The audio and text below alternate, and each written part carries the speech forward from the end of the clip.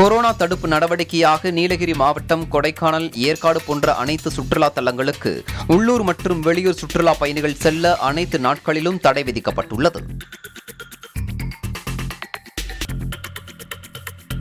அரசு வெளியிட்டுள்ள கட்டுப்பாடு நடவடிக்கை அறிக்கையில் தமிழகத்தில் உள்ள அனைத்து கடற்கரை பகுதிகளுக்கு பொதுமக்கள் செல்ல தடை விதிக்கப்பட்டுள்ளது. பூங்காக்கள் உயிரியல் பூங்காக்கள் தொல்லியல் துறையின் பாதுகாக்கப்பட்ட சின்னங்கள் அருங்காட்சியகங்கள் போன்ற இடங்களுக்கு செல்லவும் தடை செய்யப்பட்டுள்ளது.